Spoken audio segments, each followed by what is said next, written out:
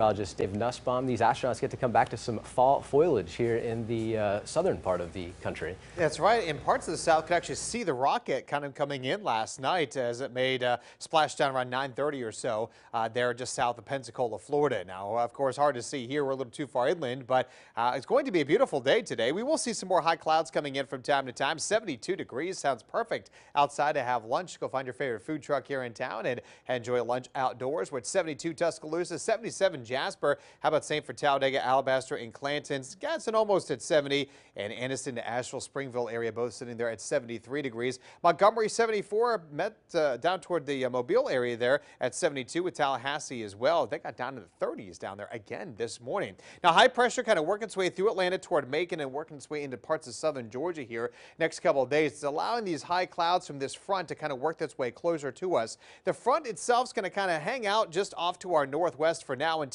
this system out here in the west, that's going to move fairly quickly, kind of catch up with that one. Then the two of these will eventually sweep through the area here as we get into Thursday. Now they're going to increase the humidity a little bit, feeling a little more stickier on Thursday before the humidity drops back down as we get to the weekend. And it's the same time we see that chance of rain ramping up to about 70% across the area too. So we are going to see some wet weather coming into play. Not today though. Things are dry, 74 by 3 o'clock. By dinner time, we're around 60 degrees.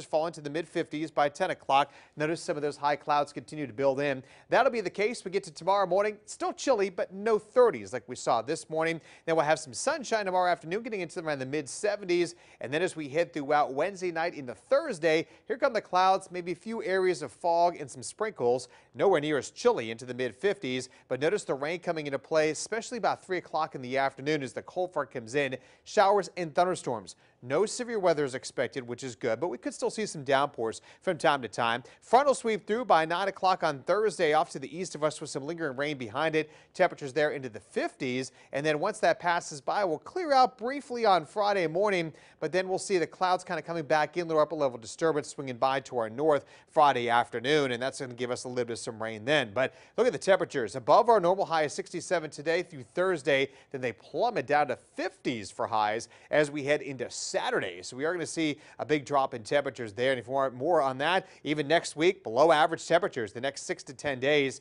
So some big changes are coming to the southeast United States for next week. So far this week, nice and warm in the 70s. There's the rain for Veterans Day that could have a few issues for the ceremonies there. And get ready for high temperatures only in the 50s all weekend long.